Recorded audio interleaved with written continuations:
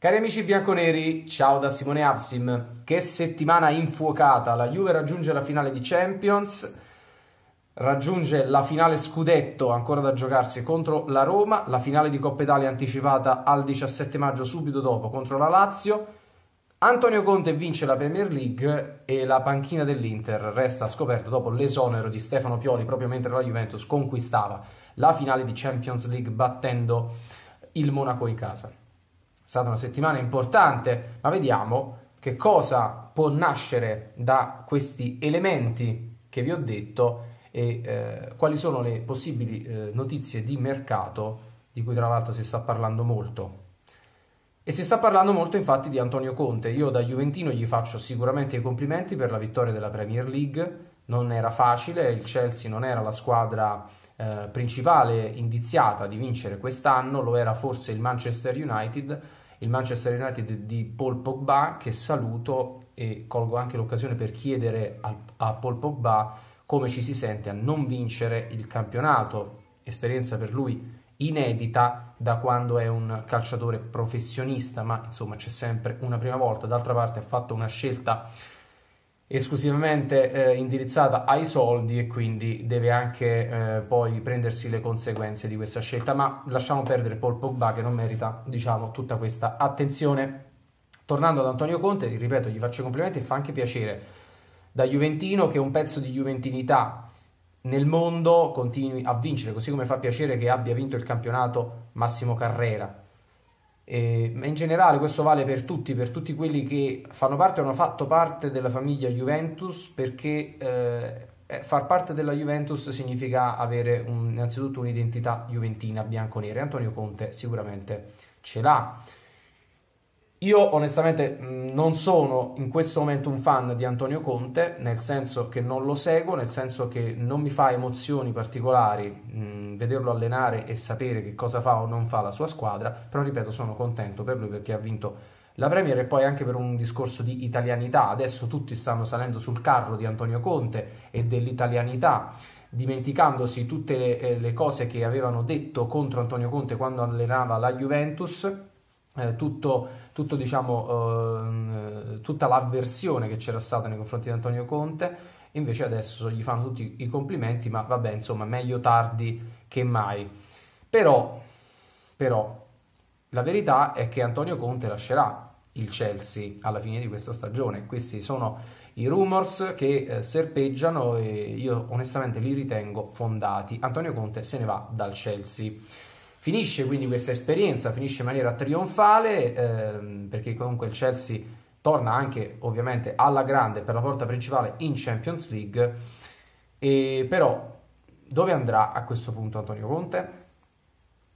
Ebbene, Antonio Conte molto probabilmente per quello che sono le mie convinzioni, ma per quello che si dice, onestamente si scrive in questi giorni molto, eh, Antonio Conte andrà ad allenare l'Inter. Antonio Conte sarà il nuovo allenatore dell'Inter. Ebbene sì, con buona pace delle vedove di Antonio Conte, degli Juventini che lo rimpiangono, ce lo ritroveremo avversario mh, da battere, sicuramente avversario da battere perché Antonio Conte è da temere sempre eh, appunto per, suo, per la sua bravura,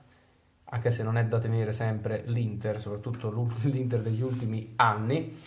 però ce lo troveremo come avversario, noi Juventus ce lo troveremo come avversario, potrebbe anche essere un avversario importante sulla strada verso lo scudetto,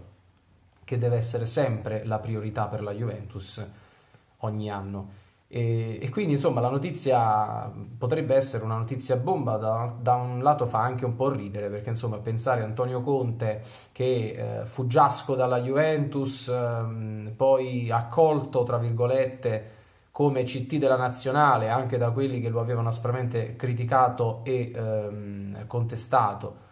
quando era Juventino, poi va a fare questa esperienza internazionale che sicuramente è stata un'ottima scelta per, anche per il suo, per, per, la, per il suo palmarès, per, sua, per il suo curriculum e poi però che cosa fa? Torna in Italia ma va all'Inter, insomma se dovesse essere confermata, se si dovesse verificare questa ipotesi, questa notizia, insomma ci sarebbe veramente da, da discuterne. Intanto l'Inter eh, stiamo vedendo tutti che è una società allo sbando, esonerato Stefano Pioli che non aveva nessuna colpa probabilmente, anche se comunque ritengo che non sia l'allenatore, un allenatore da, da, da, zona Champions per intenderci, ma sicuramente ha fatto molto meglio alla Lazio e persino al Bologna di quanto non abbia fatto all'Inter, ma il problema non è l'allenatore, il problema è l'Inter, è una società fondamentalmente ridicola eh, esonera due allenatori nell'arco di una stagione in cui doveva esplodere, rinascere, conquistare il mondo, visti anche i tantissimi milioni spesi per giocatori di cui adesso non abbiamo nessuna notizia, soprattutto Gabriel Barbosa che mi rifiuto di chiamare Gabigol perché insomma è tutto fuorché un gol. Eppure adesso l'Inter prova a rilanciare, forse facendosi sempre forza di quei milioni che sicuramente ha la potenza di Suning alla quale dobbiamo inchinarci come se fossimo sudditi di un imperatore, eh, ma insomma sappiamo che nel calcio i soldi non sono tutto, così come nella vita non fanno la felicità.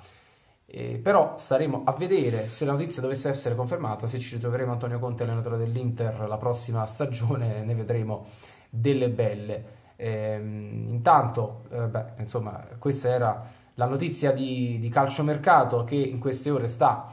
tenendo banco, eh, teniamo eh, gli occhi aperti, insomma, se, vediamo che cosa, che cosa succederà, ma intanto, ma intanto pensiamo al calcio giocato, pensiamo alla nostra Juventus, perché veramente saranno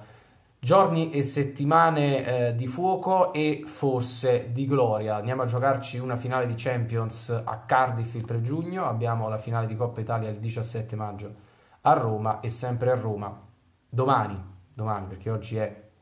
13 maggio, domani 14 andiamo a Roma per cercare di conquistare almeno quel punto che ci consente di vincere lo scudetto, anche se in realtà la mia speranza, la speranza di tutto il popolo bianco-nero è quello di battere la Roma per alzargli lo scudetto in faccia in casa loro. Vi saluto, vi ricordo di iscrivervi al mio canale YouTube, lasciatemi i vostri commenti, mi potete seguire su Twitter Simone Absim e cliccate mi piace alla mia pagina Facebook Simone Absim Juve. Ci sentiamo presto. Sempre forza Juve.